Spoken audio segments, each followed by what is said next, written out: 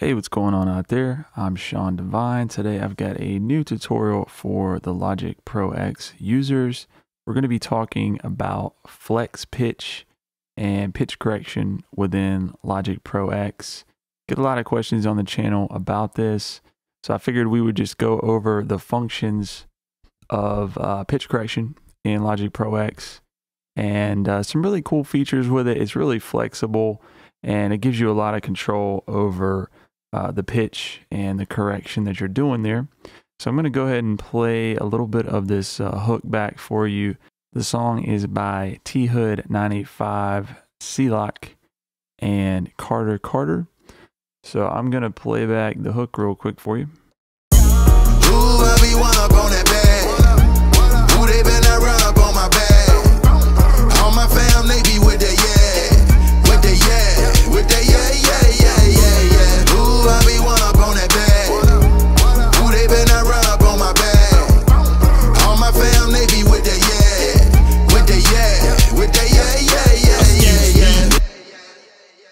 Right, so that gives you an idea of what we're dealing with. Now we're going to work with the main layer up here. So I'm going to mute our other layers. And then to access flex pitch, you're going to hit Command F. Now we're going to be doing this uh, option here at the top, flex pitch. Now there's some confusion with, you know, some people wanting the auto tune effect. That's not really what flex pitch does. I mean, it can do very extreme stuff, and I'm going to show you that. But if you're looking to just do the uh, auto tune effect, you can go and select the pitch correction plugin for Logic, and this is what you'd be looking for for more of that specific auto tune sound. But we're not going to be looking at that one today. Uh, with Flex Pitch, this is more set up like a manual uh, pitch correction or something. If you're familiar with Melodyne or Waves Tune, it's a little bit more similar to that, where we have control over each uh, note as referenced by uh, flex pitch. So anyway, once we have flex pitch open, we're just going to zoom in here and you'll see that we have a graphic representation of the waveform. And then down here is our references for the pitch of the vocal itself. Now, if you click on any of the pitch references and hold it, it will give you the tone or the pitch of that particular part of the vocal.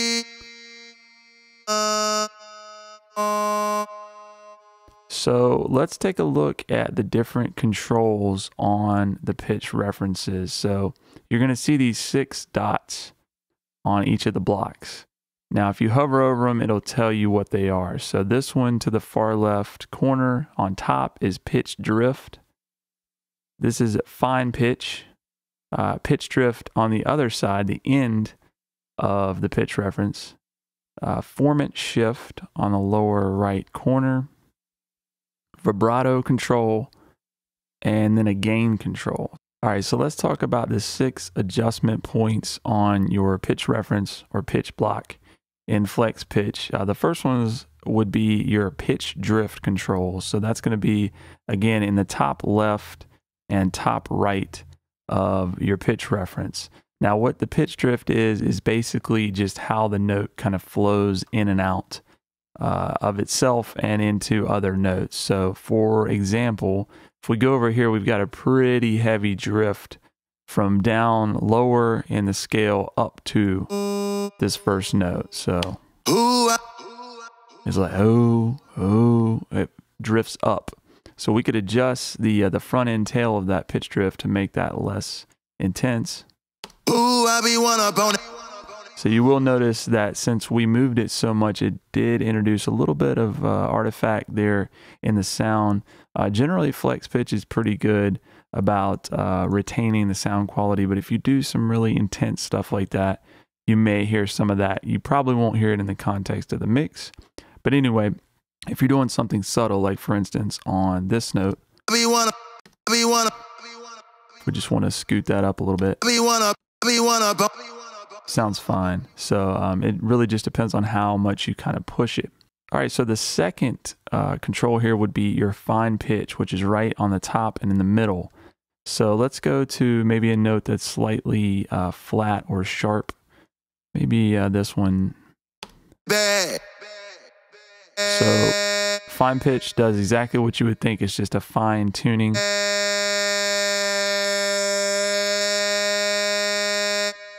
So we can slide it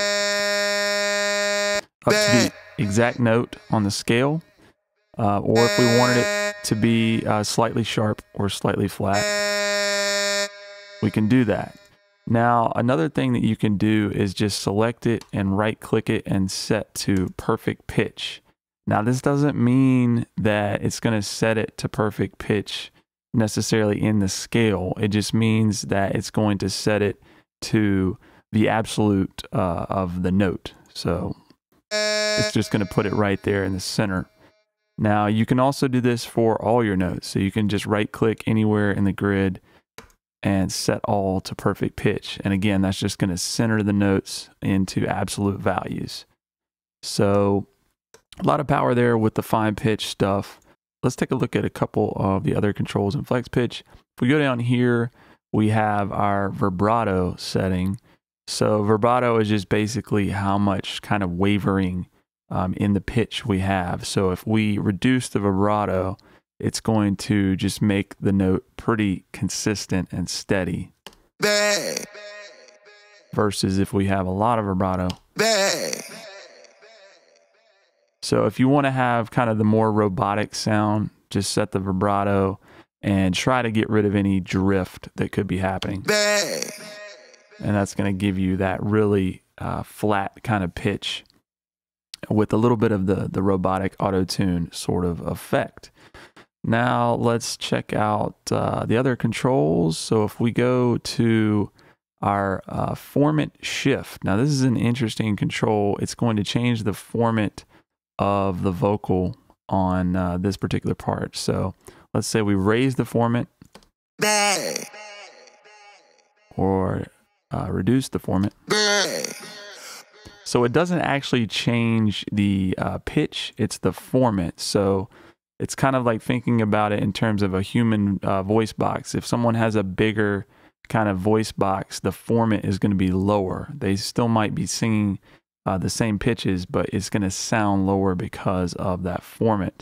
Same thing, you know, for like a smaller female uh, vocal type, your formant would be higher, giving it that effect. So really cool with flex pitch that you can control the formant for each of your pitch reference types in the vocal.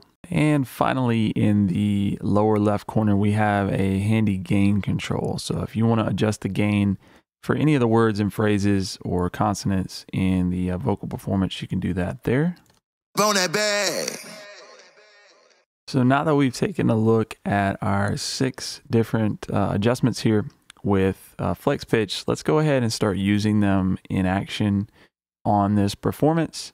So some of this stuff I'm going to do is a little bit extreme. It's just for example purposes. I didn't do it in the actual mix, but hopefully it will uh, just kind of show you when these things are appropriate and when you can use them. So the first really useful thing about flex pitch would be to just fix, you know, a couple of flat or sharp notes here and there. So in this vocal, this second uh, little phrase, Ooh, I be one it's pretty cool, but let's just say that we wanted it to be in pitch with the rest of that phrasing.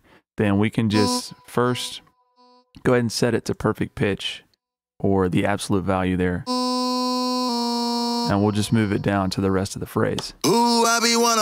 So it gives us a, uh, a different effect.